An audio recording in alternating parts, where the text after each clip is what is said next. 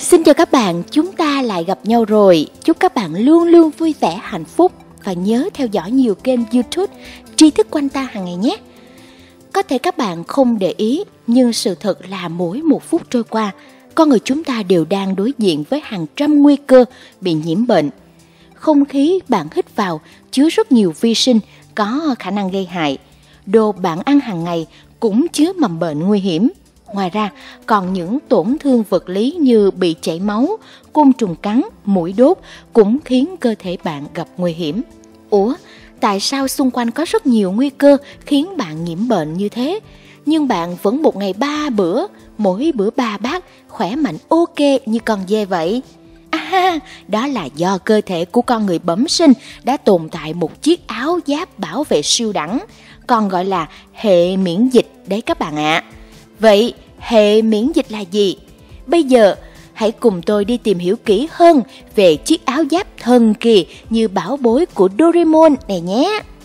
Giả sử như bạn bị một con mũi đốt, bạn thậm chí còn không phát hiện ra nếu chỗ bị đốt không ngứa và sưng lên, cảm giác có hơi khó chịu, nhưng nó chính là dấu hiệu quan trọng cho thấy bạn đang được hệ miễn dịch bảo vệ. Thế nhưng hệ miễn dịch ấy cụ thể là gì?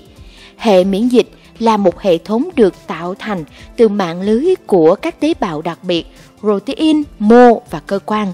Chúng phối hợp với nhau để bảo vệ con người chống lại vi trùng và vi sinh vật có trong cuộc sống hàng ngày.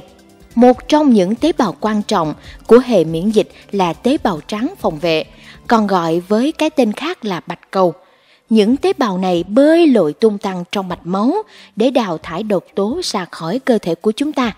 Đồng thời cũng giống như những anh hùng bảo vệ khó tính, luôn cầm một chiếc đàn pin dò xét khắp nơi và sẵn sàng tóm cổ bất cứ kẻ xâm nhập nào. Nếu như các mối nguy hại đối với con người là rất nhiều, vi khuẩn gây hại cũng đa dạng, thì bạch cầu cũng như vậy. Chúng đa dạng về hình dáng, kích thước, có cao, thấp, có gầy có béo. Tuy nhiên, về tổng thể thì chúng được xếp thành hai loại cơ bản kết hợp với nhau để tìm kiếm và tiêu diệt các sinh vật truyền nhiễm, để bảo với lũ vi khuẩn rằng chú không thoát được đâu. Bây giờ tôi sẽ lấy một ví dụ cho các bạn dễ hình dung hơn. Một hệ miễn dịch khỏe mạnh sẽ bảo vệ con người bằng cách tạo ra một rào cản ngăn chặn mầm bệnh hoặc kháng nguyên lạ xâm nhập vào cơ thể. Cũng có thể nói là hàng rào này chính là lớp da bao bọc quanh cơ thể của chúng ta.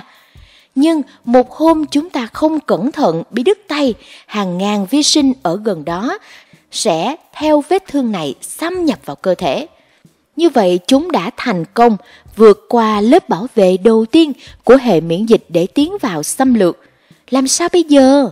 Bạn quên rằng cơ thể chúng ta luôn có những anh chàng bảo vệ cần mẫn và yêu nghề rồi sao?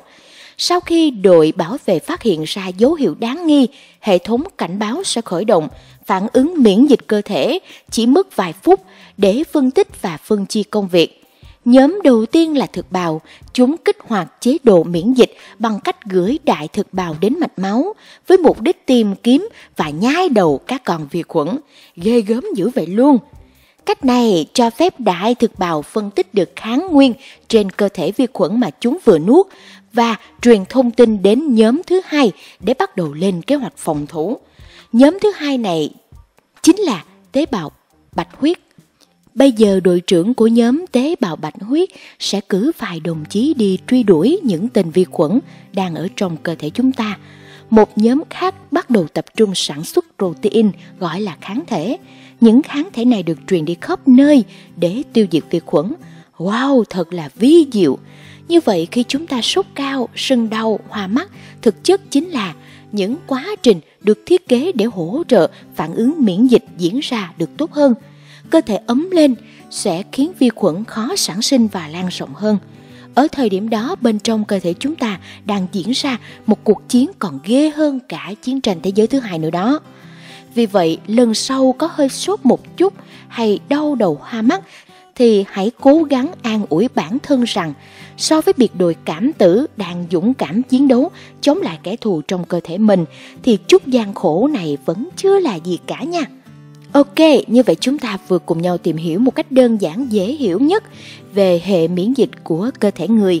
Các bạn cũng nên ăn uống đầy đủ cùng với thói quen sinh hoạt lành mạnh để có một hệ miễn dịch thật khỏe mạnh, sẵn sàng chiến đấu chống lại mọi vi khuẩn gây hại cho cơ thể.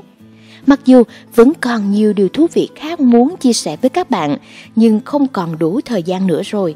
Cho nên đành phải hẹn gặp lại các bạn ở video sau nhé. Xin chào tạm biệt và hẹn gặp lại các bạn. Bye bye!